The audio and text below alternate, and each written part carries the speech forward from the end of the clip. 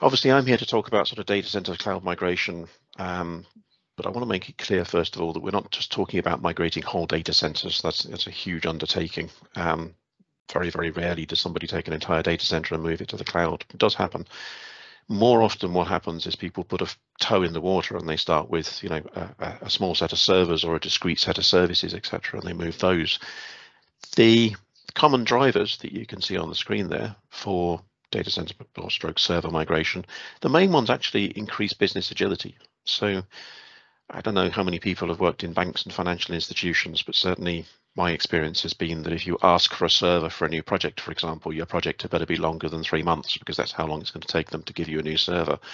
Um, the agility that you get with cloud, the flexibility to stand up infrastructure, to try something out, to pull the infrastructure down again, etc., is unparalleled. You you just can't achieve that in any other type of scenario. So business agility tends to be a really big driver. Supply chain issues. Um, again, I'm I'm hearing noises from from the market, people that are placing multi-million euro, multi-billion pound orders with some of the big suppliers of particularly networking equipment, for example, are finding the orders are being accepted and then they're being told that there's a delay of one to two and a half years to actually fulfill that that order.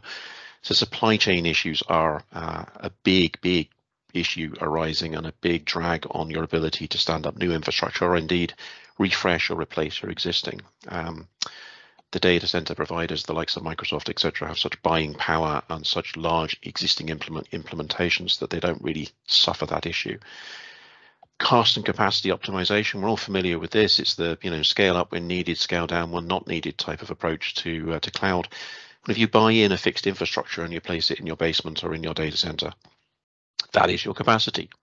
you're not going to scale it up, you're not going to scale it down. You have bought your capacity and therefore you have to buy for what you need as the highest scale you're going to achieve. And the rest of the time, the infrastructure is running at, at less than optimal performance. So that is that is another big driver is the ability to match the consumption, the power that you're using, whether that's compute or storage, to your actual need as opposed to buy for max capacity. And then, of course, the costs of that infrastructure track in the cloud with your usage are not static based upon what you need as the peak performance.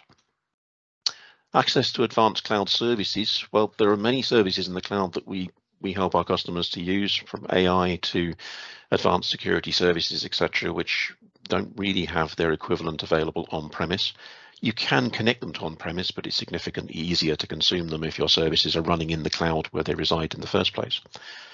And then very, very pertinent coming up this winter, ask yourselves the question for your organization, what are you going to do if and when the lights go out during the winter? We're being warmed up, I suppose, by the government and by notifications coming out that there could be issues with supply due to supply gas issues. And I think something like 40% of Ireland's electricity consumption is driven by gas generated electricity. So the natural assumption is there's going to be some outages. Well, if there's outages, will your services remain online? Will your online services still continue to deal with your customers? Because not whole country will be out. Some of your customers will still be able to access them, uh, but not if they're on premise, right?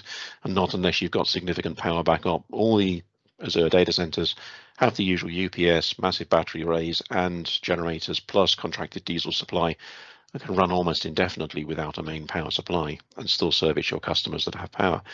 Then, of course, the topic of today, sustainability. Um, there is significant opportunity to reduce your carbon footprint by moving to uh, the Azure data center, and that's what I'm going to talk about in the main. So if you look at the journey to cloud maturity, I mean, every every organization has a different journey that they undertake, right? But typically, what we've seen in the past has been people moving workloads such as backup, file backup, storage uh, type capabilities tends to be a starting point. It's a really easy thing to do. You, you do your backup um, and you designate a cloud storage provider. You mightn't think of it as adopting the cloud, but you've just adopted the cloud by doing that. Then what we tend to see is people moving into the Office 365 domain. So they may have the on-premise Exchange servers, that type of thing for email. They move those to the cloud um, and make use of that infrastructure and, and remove some of the infrastructure they have in-house. Now the ordering can vary, of course, but once you've put your toe into Office 365, you'll find that there are online versions of services that you may very well have on-premise. And the likes of SharePoint can be, in big installations, quite a complex infrastructure to maintain yourselves with SQL servers and web servers and so on and so forth. so moving that to SharePoint Online then gives you the benefit that it's a managed service and you no longer have to worry about the infrastructure patching, etc., etc. So that's a logical step for many organizations. And then we see sort of non-Office 365 type workloads getting virtualized and moved to the cloud. So you may have a bespoke solution uh, running on a Windows server or Linux, indeed, they're, they're equally virtualizable. Uh, and that moves into the cloud and you start to have a hybrid implementation where some of your services are in, in your on-premise infrastructure, some of it in the cloud infrastructure.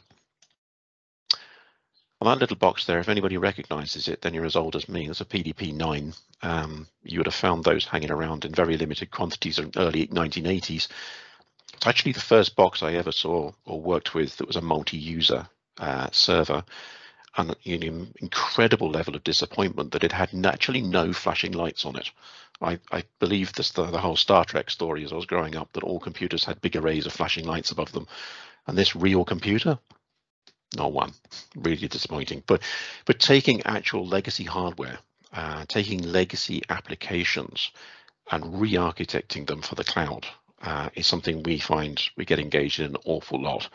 Uh, re-architecting them, wrapping them in services, making them accessible, giving them APIs, etc., so you can call them from other places, uh, but basically removing them from your on-premise and making use of the cloud services. And then at some point on that journey, most organizations find the advanced services like that's the Azure Sentinel, for example, there, um, and the uh, um, AI services and so on and so forth on the cloud come into play. They find they find great utility at some point in that journey, uh, and where it is varies from from organization to organization. So let's have a look uh, because you need a defined methodology. You can't just sort of dive into this at, at random. So Microsoft define and we use the, the cloud adoption framework as our approach. And that involves defining a strategy. So what are your what are your motivations? What are the business outcomes you want to achieve? Um, obviously creating a plan. Failure to plan is plan for failure and then getting ready to do it. So prepping, looking at the what the first what they call a landing zone, which is your first piece of architecture or infrastructure you're going to move, what it looks like in the cloud, looking at capacity, so measuring the services you're currently running, uh, and what kind of compute and storage and bandwidth and so on that they are using. So you can create an appropriate environment for them to arrive into the cloud on, all prepared and all scaled and all ready to go. And then the uh, adoption phase of actually migrating some of the workflows and innovating, so maybe making use of cloud services that you don't have available on premise. Inevitably, then there's a management and a governance that requires to wrap around this, but the whole thing is iterative. So the point is, it isn't a big bang, it comes in waves, and you define a wave of migration. We'll bring these services, this infrastructure into the cloud, we'll decommission these other things as a result.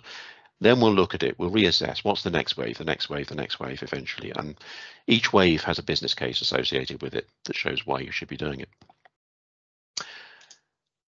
Now, some of the specific savings. So Forrester Research did a assessment um, to look at energy and carbon consumption across the board in migrations into Azure. If you look at storage, just storage alone, just moving storage, 71 to 79% more energy efficient in the Azure cloud. The difference in range varies from the type of storage you have. Um, but where it gets really interesting is if you look at the energy taken into account, the energy consumed converts into emissions, the carbon emissions reductions on storage migration to the cloud, 79 to 83% lower than traditional enterprise data center.